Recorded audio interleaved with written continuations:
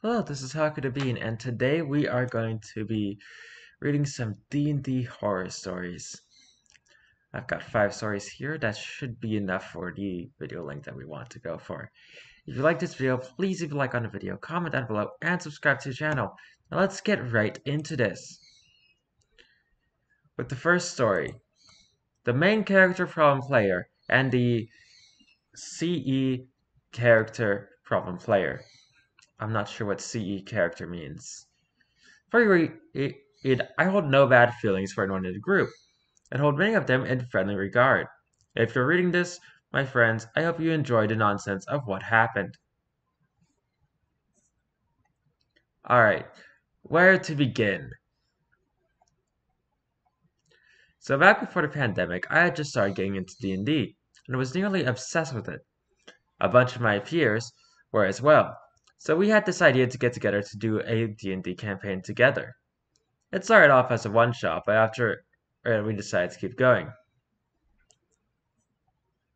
The characters. The DM, a friend of mine for a couple of years, and a fairly experienced DM. The sorcerer, an experienced D&D player. I primarily played 3.5 edition though, and we were doing in 5th edition and was playing a chaotic evil tiefling sorcerer. Interesting. The Warlock, a newcomer er, to D&D. He played no Warlock, whose patron was the sorcerer's father. At the time, he wasn't much into roleplay and stayed more in the back of the party, only saying things when he felt comfortable doing so.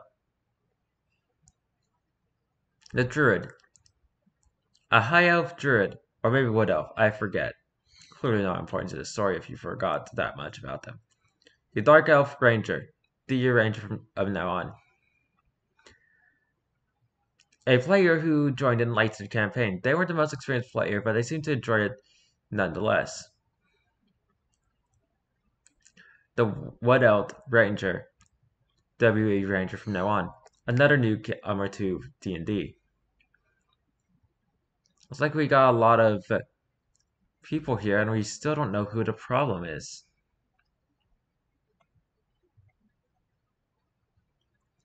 The first session went absolutely perfectly. It starts off with the party, not including any Dark Elf Ranger at the time, on the way to a mine that had taken over that had been taken over by thugs and bandits. But not the most flashy. Not the most flashy, but hey, it was many of our first campaigns, so it didn't need to be much. We started in a tavern with a few thugs, ugly-looking people, entering it. They seemed to be scanning the tavern discreetly, but was noticed by Wood Elf Ranger and Rude and Druid. They told old Sorcerer about it and decided to have a little fun. He noticed that thugs were writing something down on a notepad, so he used this agent to erase whatever they were writing. The thug looks at notepad, confused before continuing. The sorcerer repeats, and the thug goes on high alert, looking for whoever was causing the issues.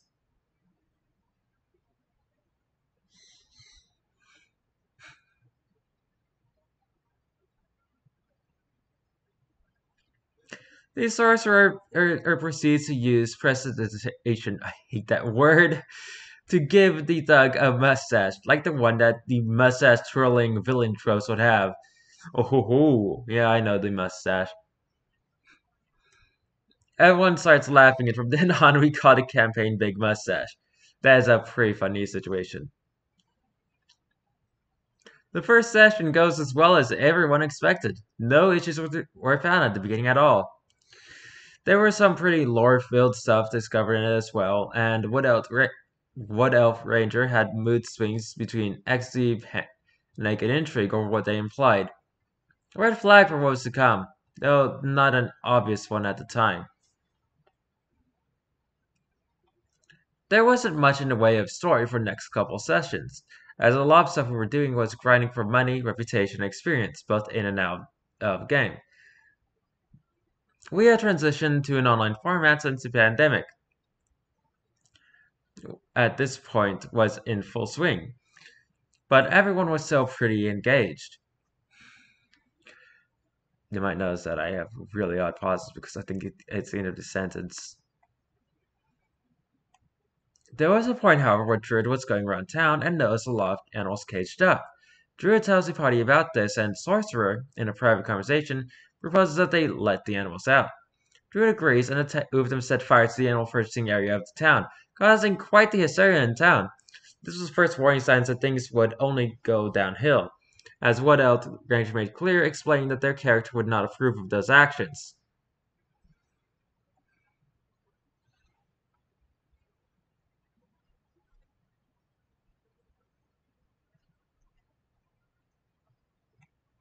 Fast forward and Elf and Wood Elf Ranger begins trying to direct the party to go faster and not get sidetracked, which was only emphasized by the fact that the website we were using was finicky and often took a long time to set up in the moment.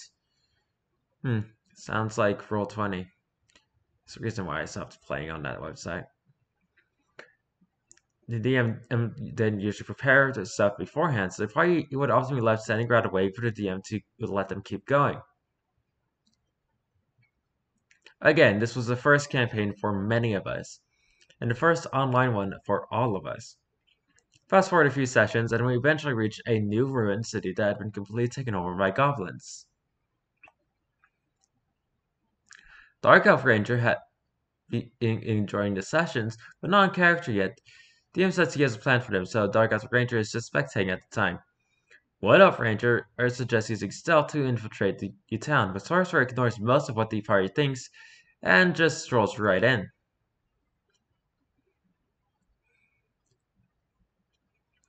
Wood Elf Ranger is infuriated with Sorcerer's blatant ignorance to his suggestions and doesn't join Sorcerer, temporarily splitting the party.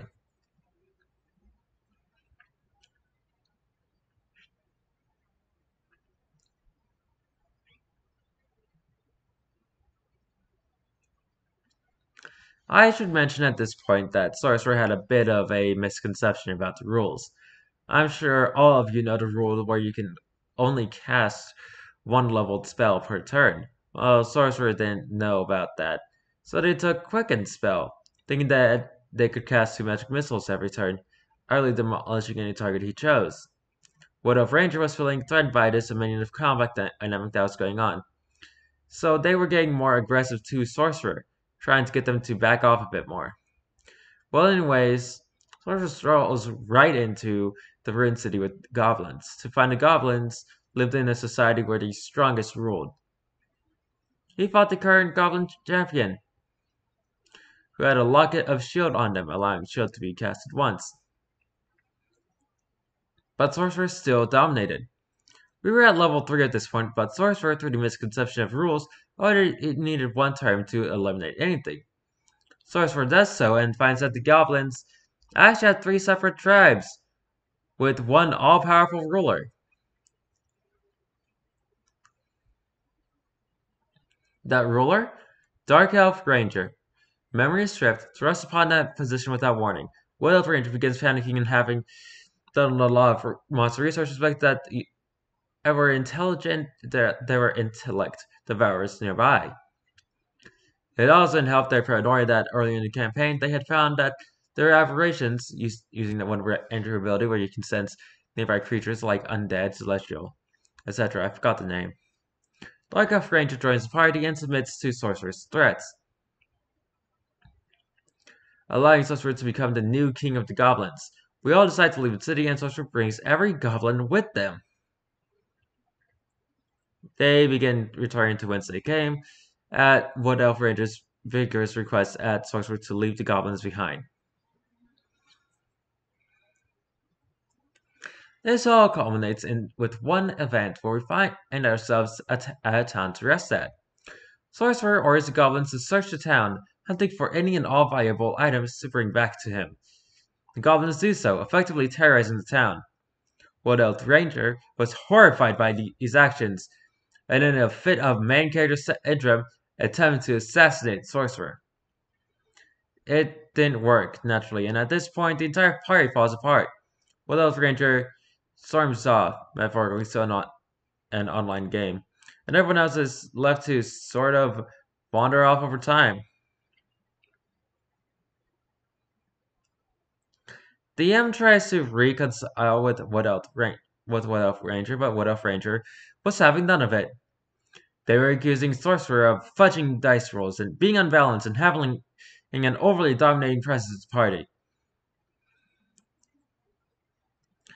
No one found the rule about one leveled spell per turn until about a year later. Anyways, hello? Wood Elf Rangers are here. This sorcery wasn't one where there was only one person at fault. It was mostly me and Sorcerer that were the problem players. I'm sure many of you know about the tropes of CE characters. What does CE stand for here? Like Sorcerer, or dominating main character players, like me at the time. This was an unfortunate situation where both of those came to light in opposition to each other.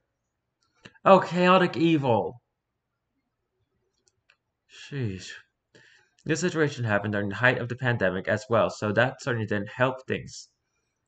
Thanks for reading, and be sure to tell me how horrible a player I was in this situation. Sarcasm, um, don't worry. Although I don't really want to hear anyone say how bad of a player person was because most of us were new and this was online. During a major event where most of us were starved for attention.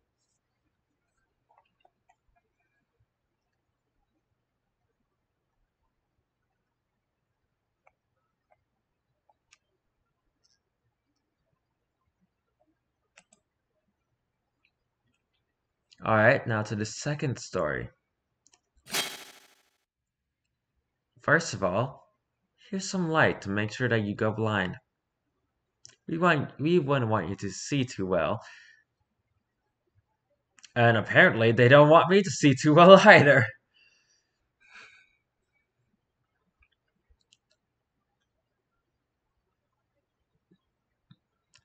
I don't like this. Oh gosh. This is going to hurt to read. Look at how tightly packed that is.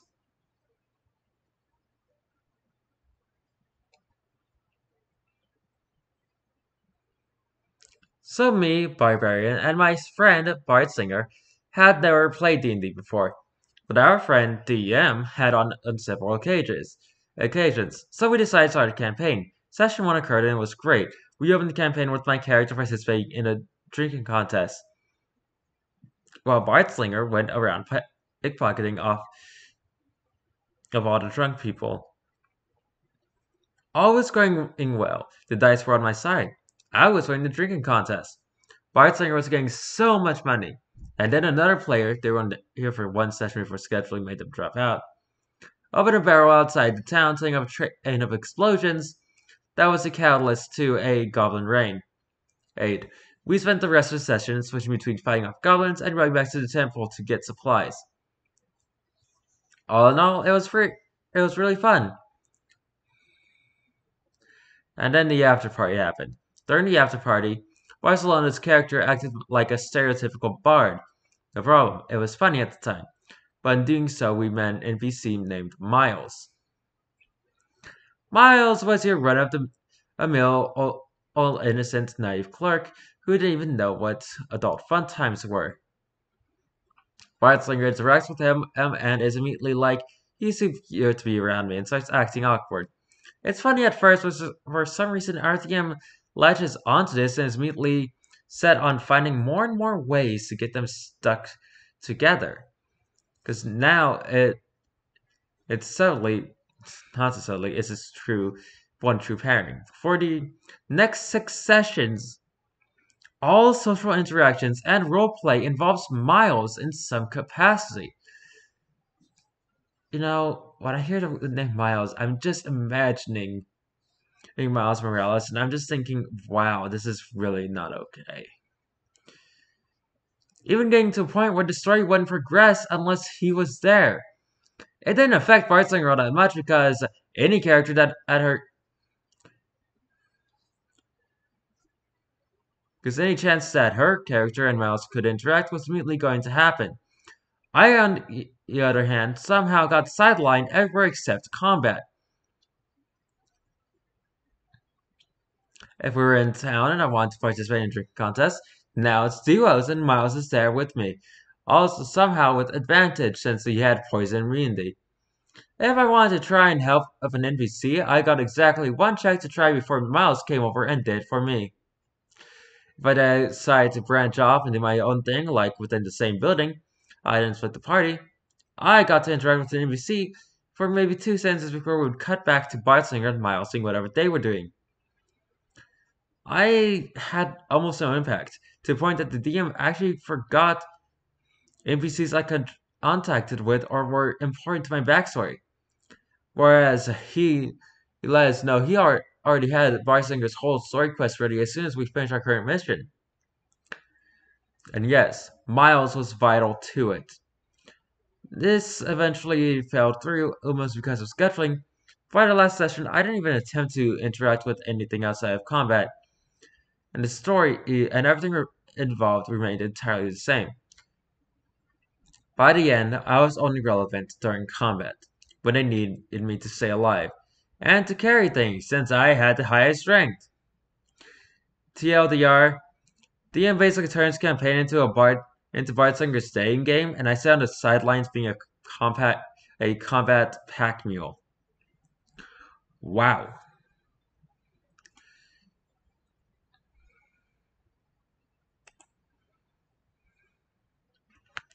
I can get liking two characters being together, but you really need to um, make sure that everyone is involved.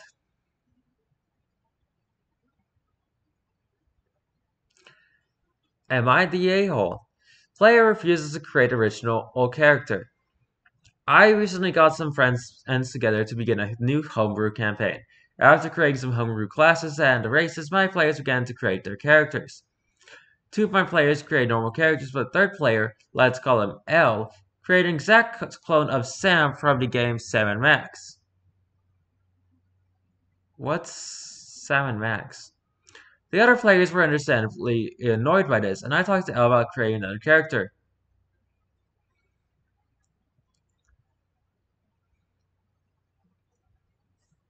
After I asked him to change his character, he went on a rant about how D&D isn't supposed to have rules and how he should be able to play whatever character he wants.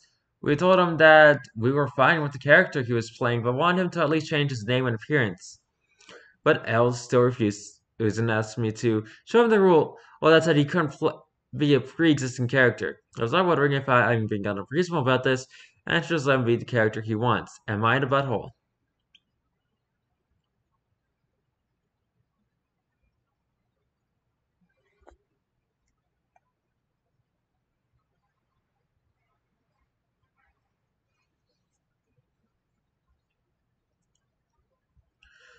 I mean, uh, they're wrong about the game not really having rules. The rules are made up by the people who play it, the players and the DM.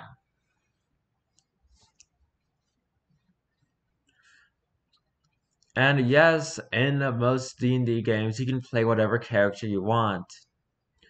But you have to make sure that the characters fit the tone of the story, like, at all. I don't know what Sam & Max is. I'll probably look it up later.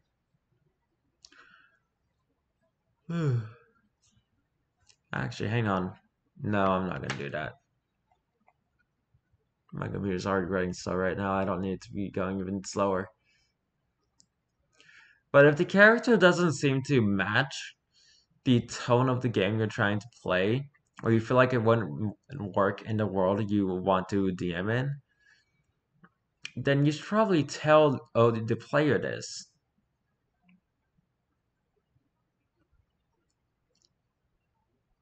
Like if you're trying to play a serious, no Obart, no oh, oh, oh joking in campaign, and then someone makes a clown character that is just to be a joke, then it's just gonna stick out like a sore thumb kind of like that one Family Guy clip where Peter's dressed like a clown uh, while uh, following a whole bunch of soldiers who are dressed up like army men.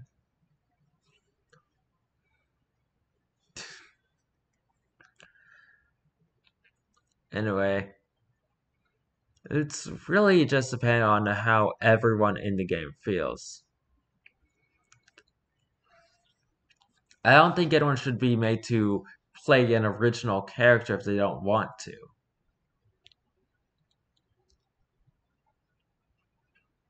And for my part, when I want to play D&D, I mostly just want to be a cat girl. That does insert class here. That's literally all there is to it. Just cat girl.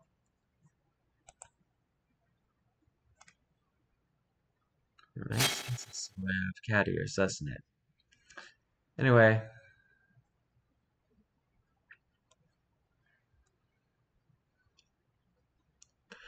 Player turned DM takes over campaign and runs it to the ground.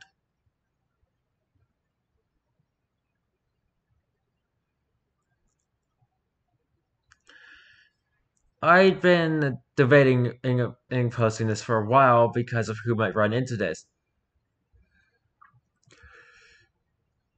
But I thought I'd share. Sorry in advance for the long post. TLDR at the end. Oh, this is going to be a long one. Some context before the main story.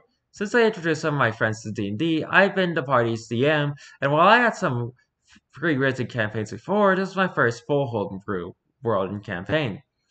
I discussed with my players, and they agreed that they would be interested in playing a pirate-themed campaign. So I spent some months working on this world to properly build the PC's backstories into this world. I was actually really proud of the final product and started this campaign inspired the this pirate inspired campaign with a total of six players. Now this is a definitely bigger group, but I got along with all the players well in the past, so at the beginning it was, no pun intended, smooth sailing. Six players. That's insane. I'm sorry, but I'm not playing a game are more than four. There has to be a small amount of players, or else combat will take forever. Now, on to the actual story. One of the players was a friend of mine who had DM'd for me and a group, different group in the past. For this story, we'll call him Warlock. Now, since I've known this guy for a while, I know that he likes power building. This will be important later. And while this is usually not an issue for me as a DM, I took this into consideration when building the encounters, so they will so be fun for the other players.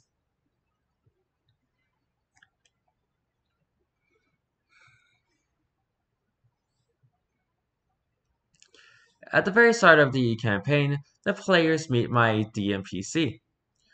Oh no. Who is originally not meant to stick around. That's good. He was simply made to deliver the main questline to the players and eventually leave.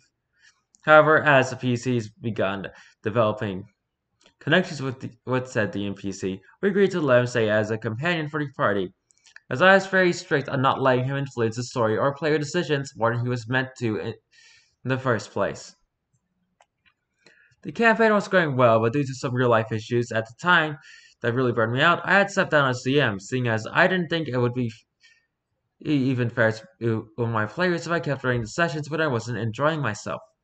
Since they were really liking the campaign and I had the entire world campaign that's compiled in a document, one of the players suggesting it having Warlock pick up where I left off, since he was the only other player who had DM'd in the past. Seeing as I was stepping away from the campaign, I agreed.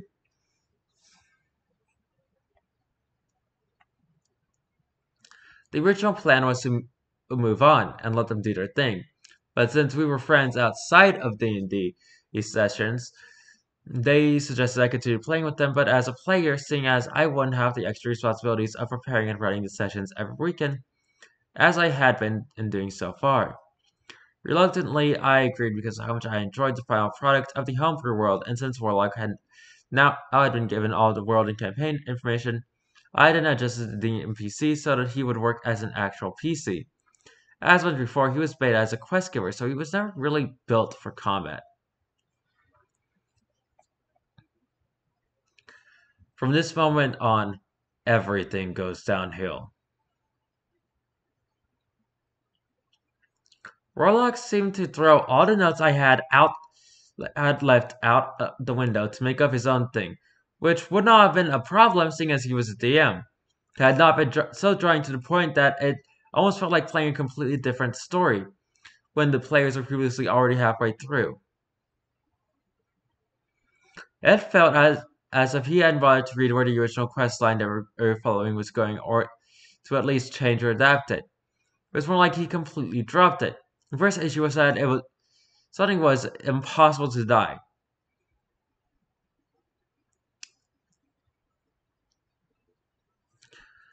No matter what we did, Warlock would never let any of our PCs hit zero hit points, because his DMPC would swoop in and save, save the day.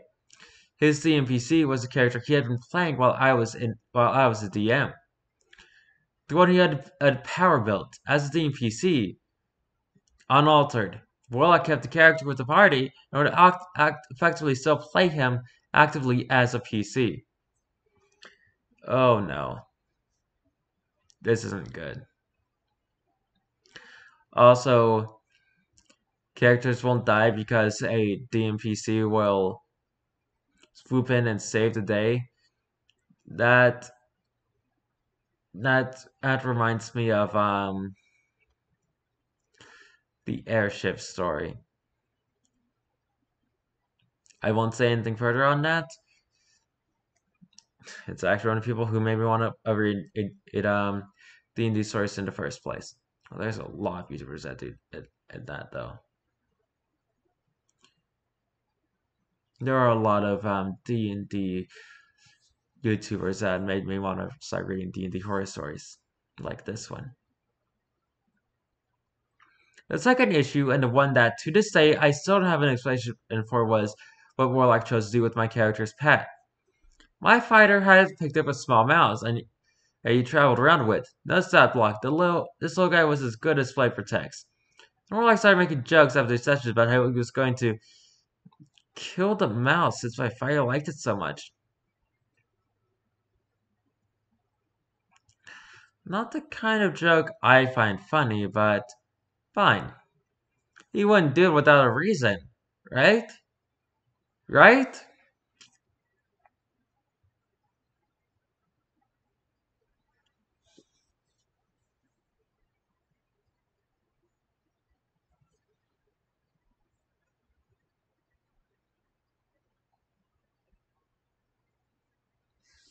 The next session comes around and my fighter decides to take some precautions with his mouse, seeing as like hinted as uh, fighting some kind of serpent. So fighter pokes some holes into a wooden box he had with them and was planning on leaving the mouse inside, but oh we fought.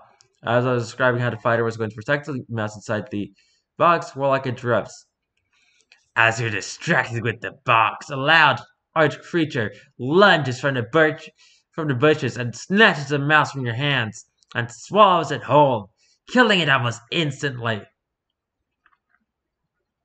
It was some homebrewed giant serpent.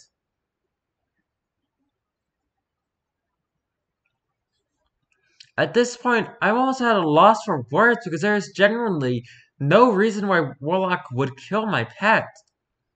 And I was easily upset after that session, but still chose to keep rolling with it because this was a group of my friends. The third and last issue was the one that made me leave the campaign.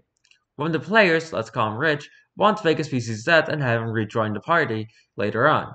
Please note that this was agreed upon with all of the players, and the party was alright with this plan. Whoever, however, he, he never specified how. While post Rich's death, the party ship was attacked by a Kraken.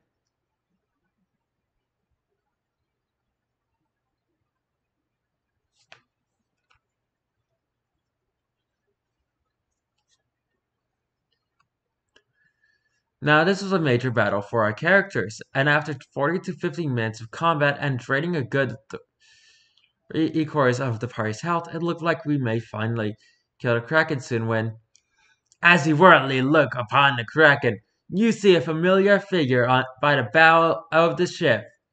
As you might have guessed, it's Rich, back from the dead, with a brand new magical weapon. Rich deals the final blow to the Kraken, saving the day. Hooray. This situation, along with the fact that Warlock's DMPC simply would not let us die, made the entire campaign and our struggles in combat feel incredibly pointless.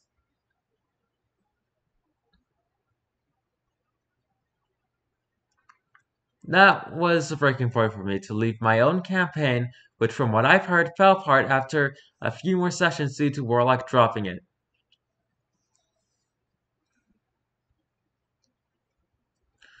Needless to say, I did not feel inclined to have him DM for me again.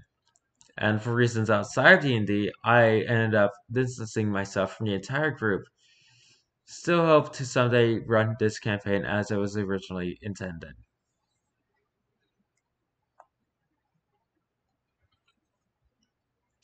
TLDR, I created a, a homebrew world for a pirate campaign for personal reasons, stepped down as DM. Um, player in the campaign and picks up the role, convinces to join as player, and proceeds to throw consequences at the windows, has a Deus Machina DMPC, and kills all of my PC's pet for no apparent reason.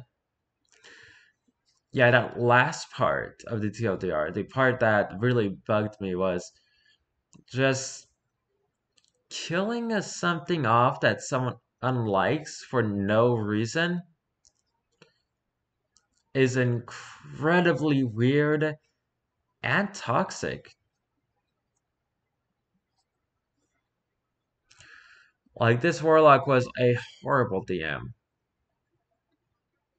And who knows? Maybe their experience in the past was the war was the airship story that uh, so infamous among people who know what these stories are like. Anyway, now for the last story.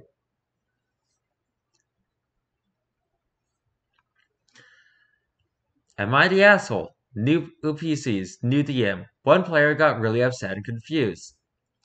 This is sort of a validation seeking post. In truth, in my third session of a new campaign last night, and as a branding DM, a player got really angry and shouted at me. TLDR at the end. This is going to be a long post because I need to vent. Okay. Oh god, it's actually going to be longer than I thought. Okay, let's keep, keep going. Some backstory. After completing one brief beginner or module, I decided to mesh a blend of homebrew and third-party pre-made story quests for my campaign. I'm familiar-ish with D&D systems that my group elected me to be their DM. Um, they really seemed like they wanted to play, and I just want to emphasize that starting a family D&D game was not my idea, but I was happy to make it happen. Family D&D games are not very fun, for the most part. Not from my experience, anyway. Basically, everything I wrote takes place in a lore-accurate Faerun. But the BBEG and NPCs are original. I have over 10 years of RP and world-building experience.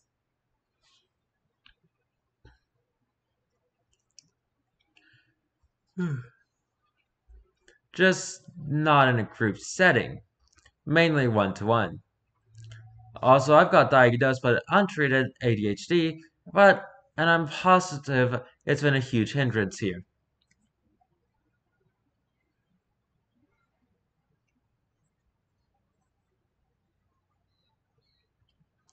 The group. There's four players and none of them have a D&D experience. Algorithm fake names to make this explanation easier. Me, female, mid-20s. Hey, I'm also a girl in her mid-20s. DM. Jill, female, mid-30s, a relative of mine, playing an ASMR, er, an ASMR ranger. Bob, male, early 30s.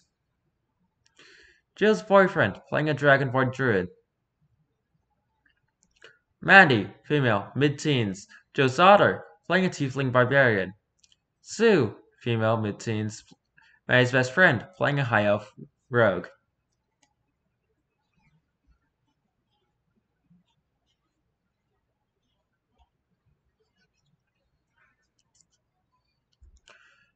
None are familiar with TFR. I don't know what that acronym means, but I'm guessing it's something. It might be like the Faerun or something. Not racist classes or anything. I gave them a three weeks to review the, a player's handbook and held two session zeros to guide them. welcoming extra calls on the weekend or evenings after work. We're all new, so I was fine with us reviewing and learning the game together, and encouraged them to reach out. For everyone, I offered optional pre-written characters, origins, backgrounds that tied into my story, and everyone except Maddie chose a pre-written en route. I had an hour-long call with Maddie to help her come up with an original character backstory, since she didn't know where to start. We used such as COE and the player's handbook to use our tables. I helped everyone pick their classes, explain stats, etc. I'm not the best at explaining this stuff, so I upload a free PDF of the player's handbook to our Discord group and encourage them to read the sections that pertain to their race and class. Yeah, most people use the PDF of of of um a lot of D&D stuff. Now, when you come up with when you can easily pay seventy dollars for a freaking book, then you can complain in my I, I comments. But until then, keep your keyboard silent. I linked popular video guides for the chosen classes as well uh, since only the teens read. D&D Beyond was also utilized. I did a screen share call to show them how to use the character creation. The teens showed the most interest, makes sense. Sue in particular was great. She had a character sheet ready, sketched out her character, and had a lot more details and personal touches to the three paragraph backstory I gave her character. Maddie followed suit once I helped her with the background and class details. It seems like um, younger people usually get into these fun things a lot more than their um, parents or older or folk. I noticed this when I was playing D and D with my own family. Um, my siblings and I got really into the game, while my parents just lost interest over time.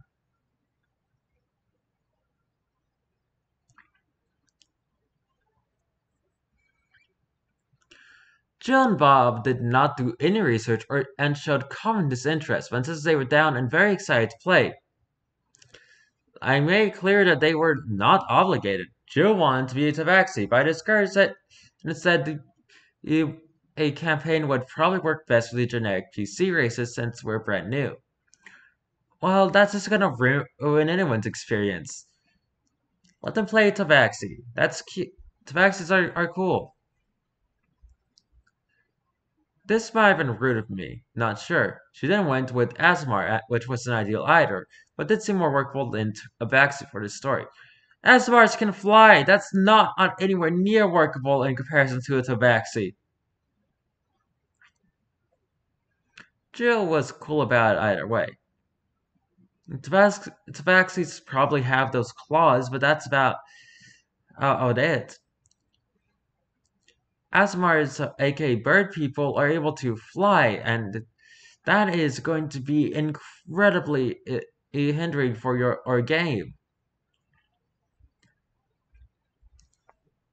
My faults. I'll, uh, I'll elaborate a bit later, but I haven't been keeping track of every little detail of the PCs. You're not supposed to as a DM. Like, I'm not the most familiar on all their abilities and proficiencies and encourage them to learn how to play themselves. That is literally your you're not not supposed to know everything about their PCs. They have to keep track of their own own character sheets. It's the least the players can do after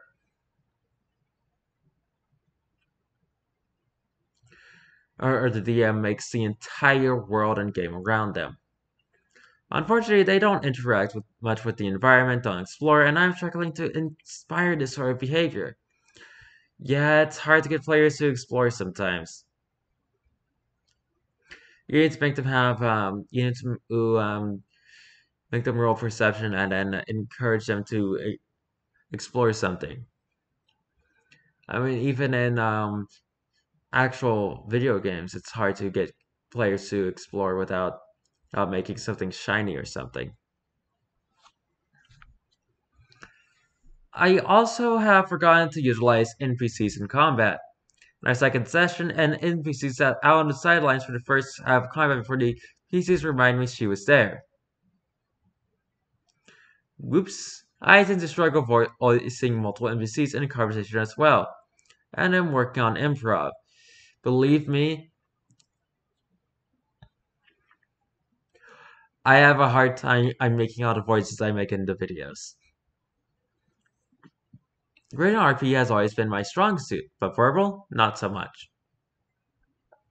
I've also been fudging numbers a lot and shrinking enemy health bars, AC, and increasing damage output to make combat seem more risky. Yeah, a lot of DMs fudge numbers, don't worry. It's actually a common thing to do, and you have to do it to make either the game more enjoyable or to keep players from dying if you don't want them to. Because it does hurt when your first PC dies. I haven't had it happen yet because I haven't played a game that long. But it does hurt. Edit. This goes without saying, but I'm also very forgetful in general and have asked players to call me out if they have any questions and welcome constructive criticism. I've always self-doubt a lot, perhaps too much, and they said I'm doing fine so far. But, I mean, there's a lot I obviously need to work on. Bob gets his own section in this post somehow.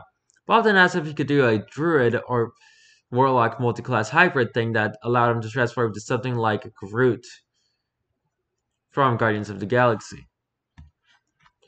He also wanted a pact with a powerful nature god. I said he could go with Druid or Warlock for this, considering how multiclassing works, and discouraged it since he's new, and said we could homebrew some platforms he could take on he could take later on. He was not happy that he couldn't turn into a forest dragon or hulking swamp monster at level 1. I'll also add everyone except Jill dislikes Bob.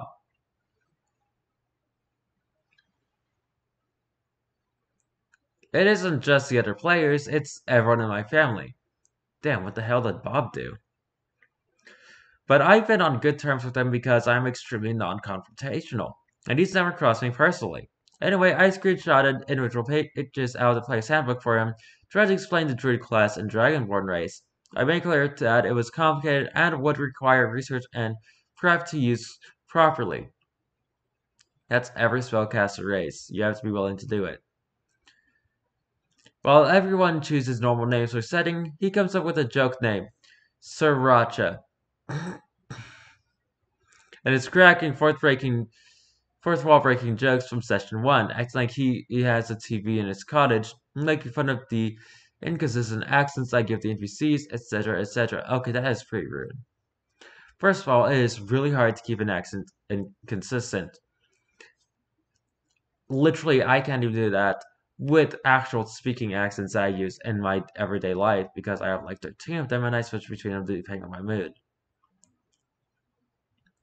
I don't shut them down, of course. I laugh along um, because this is just a game and at the day, I don't want to squash anyone's fun.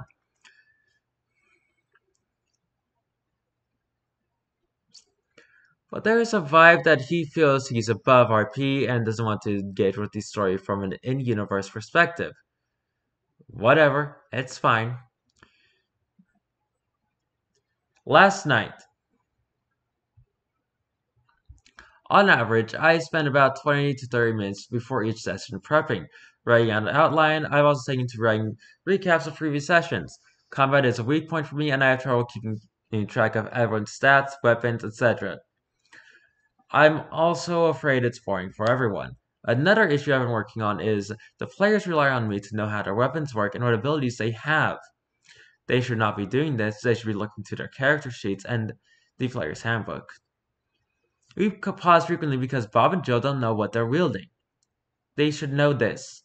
It should be on their er, er, er sheet.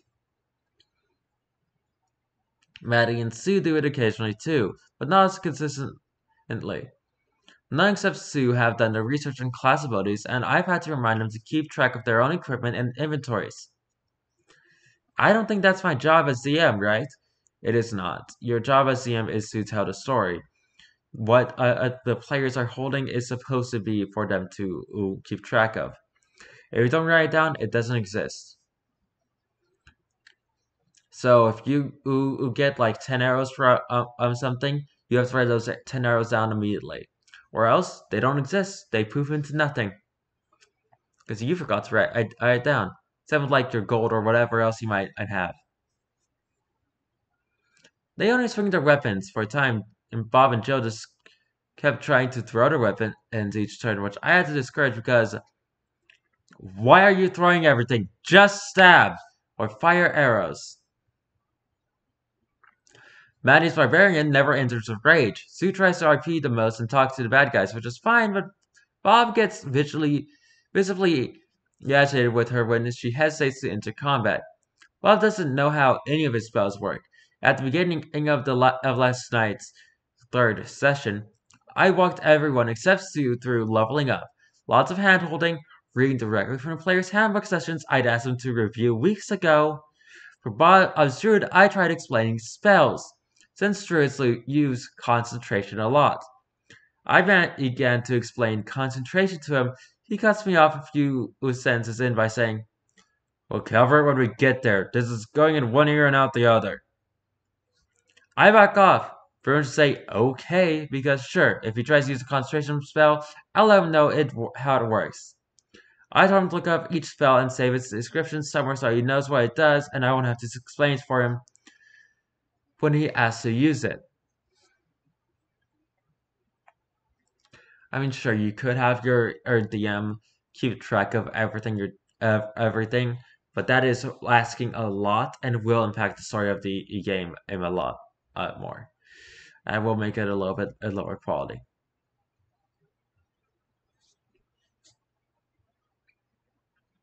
Alright, so anyway, I have them I'm walking into the woods with two NPCs who are part of Sue's guild.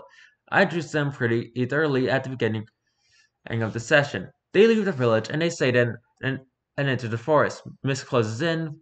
I goes to attack. Sue hesitates because she doesn't want to hurt animals, and Rob Bob chastises for never wanting to help the group in encounters.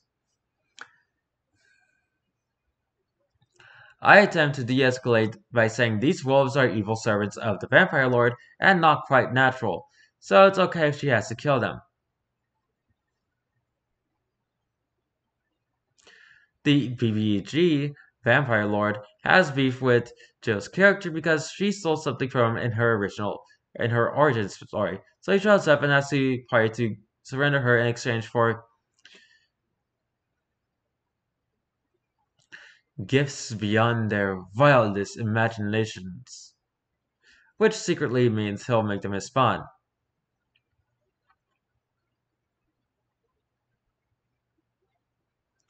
Obviously, they refuse, and Jill's character runs, so I have to attack another PC to punish her. And also kill one of the NPCs escorting them.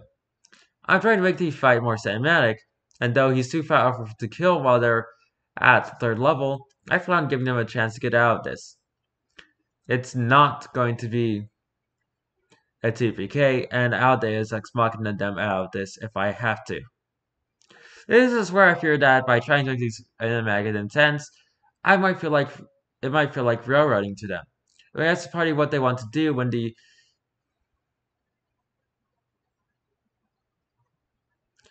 EVVG stabs Maddie's character. She fails the Dex DC. I don't just have players get injured without a chance to save.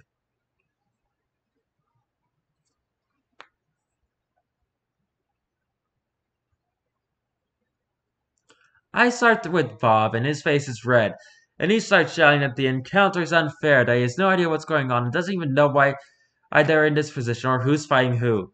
I stumble through an explanation of what happened in the past five minutes until a man's character has been stabbed and then an NPC got dragged into the mist screaming.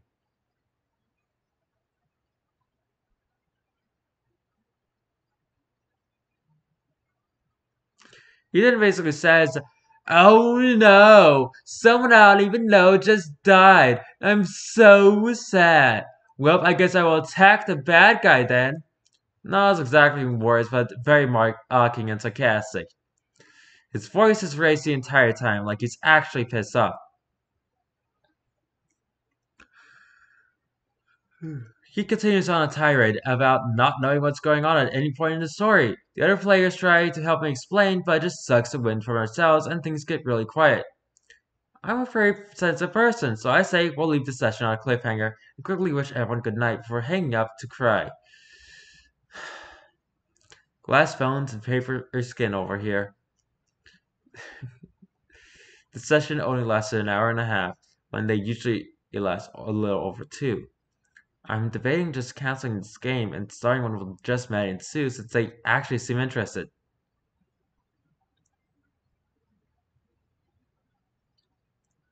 Maybe I'll run a module with them, since trying to kick off a homebrew campaign with little experience probably isn't doing me any favors. Neither Jill nor Bob have reached out since it happened. I don't expect Maddie or Sue to, obviously, but I don't know what I'm expecting here. An apology, maybe?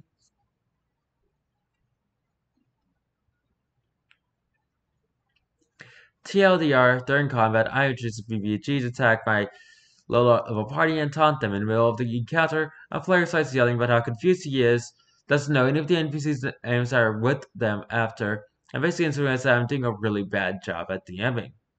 If you actually read the whole, whole post, Jesus Christ! Thank you for your time. I'd really love to be a player in D&D rather than a DM, so I might start looking at open groups in my community. I don't know if I'm cut out for DMing yet, but it'd be nice to try in the future. Yeah.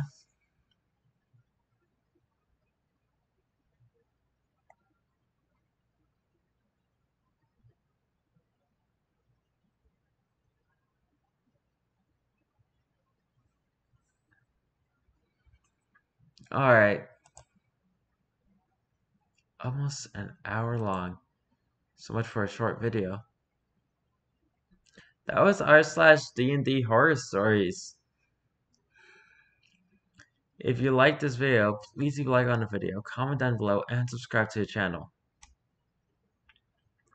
I have no idea what I'm going to be doing tomorrow, so until then, goodbye!